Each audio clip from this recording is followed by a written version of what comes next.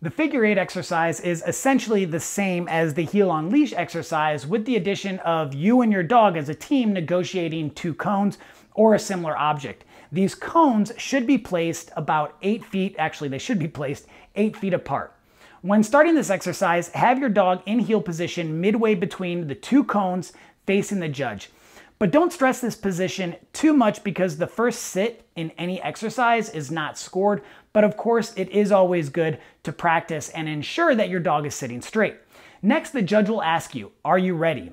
When you're ready, respond with ready or yes or nod of the head or something similar. After you've indicated you're ready, the judge will tell you forward. At this point, you'll start to heel with your dog around the cones. As the handler, you get to choose which direction you want to go first. However, I recommend going left, as many judges will wait to give the halt command after you've gone around the right cone. Meaning, if you choose to go right first, you'll have to go around the right, then the left, then the right, and then you'll do the halt. If you go left, you'll go around the left, then the right, and then you'll be told to halt. So you'll have less of a chance to lose points if you choose to go left. You'll want to ensure that you're walking at a normal pace the entire time around and between each cone twice in a figure eight pattern. The judge will order a halt during the exercise and one at the end of the exercise. You'll never hear a judge order an about turn or slow face or fast pace during the figure eight. It's your choice to give a signal or command to begin the heeling at the beginning and after the first halt. Any additional commands will be scored. Just keep in mind that you can receive a non-qualifying score if you're giving your dog too many additional commands. The judge will determine if the additional commands shows that you lack control of your dog. Also, try not to worry about the movement from the judge. This gets a lot of people. The judge is required to review the dog's position and the dog's performance of the exercises in order to better determine the accuracy of the dog's heeling and halts. Just like we discussed in the heeling exercise, minor or major deductions will be made for any lagging, heeling wide, poor sits, foraging, crowding, or failure to sit at the halt or any other heeling imperfections. Deductions are not just for the dog. Handlers who guide the dog with the leash can get points deducted for tightening or jerking on the leash or for not walking at a brisk pace. Your dog should always be adapting to your movements as a handler and not the other way around. If the judge perceives that you're adapting to your dog, you could receive a non-qualifying score. The point of the exercise where this is most closely looked at is during the turns around the cones. On the inside turn, the dog must slow down in order to maintain heel position, and on the outside turn, the dog will have to speed up to maintain heel position. Just make sure that you're always paying attention to the judge's orders because you and your dog should not start before you're ordered by the judge. This includes waiting for the judge to say exercise finish before releasing your dog. I'll post a link in the description to the obedience regulations where you can take a closer look. It'll be section 5 which covers the figure 8 exercise. If you want to practice the entire routine for the heel on leash and figure eight portion, I would recommend having a friend or family member play the role of the judge, walking you through the routine so your dog gets used to this picture. Having someone call you through a pattern is much different to the dog than training the routine without someone calling you through. This will help you properly prepare for the competition. I'll make sure I have an example pattern written out in the description of this video. Heel.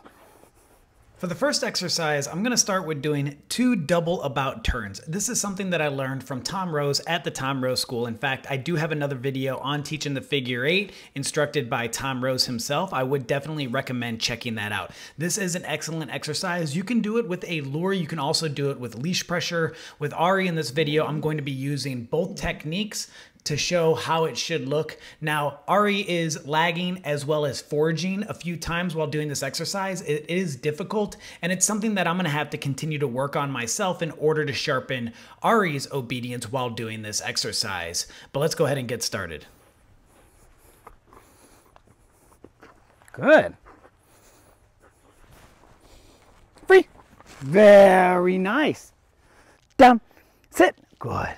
Heel. As you can see, the concept behind this exercise is to teach the dog that when we start to turn left, whether it's a left about turn or we're going around a cone for the figure eight portion of the heeling exercise, our dog needs to slow down. And you can see when we turn right, our dog has to increase speed. This exercise really helps them understand that concept and it transfers over very nicely to the figure eight that we're gonna need to perform for the AKC novice. Very good.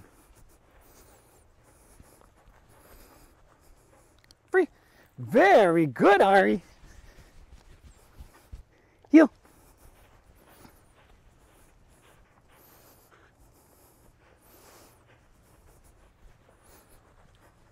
Free. Good girl. Heel. As I come around the first cone, I'm going to do that pivot in place exercise that Tom Rose teaches. Again, this is showing Arih that when I go around the left object, there is a possibility that I'm going to pivot in place, which is going to make her more aware and focused on what I'm doing, which will get her to slow down when we go around the left object. Very good. Free. Excellent. Nice job. Nice job, my Arih. Heel.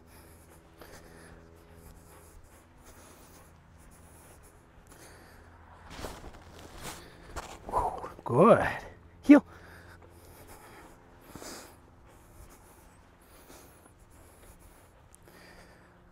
Free. Excellent. Nice. Arih, heel. Heel.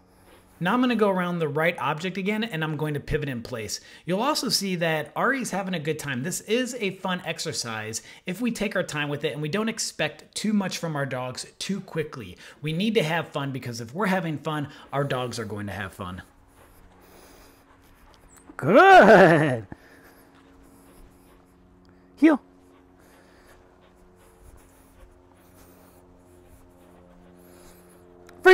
Excellent. Nice work.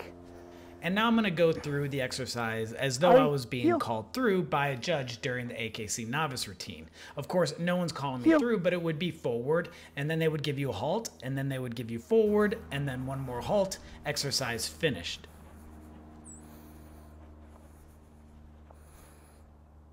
Heel.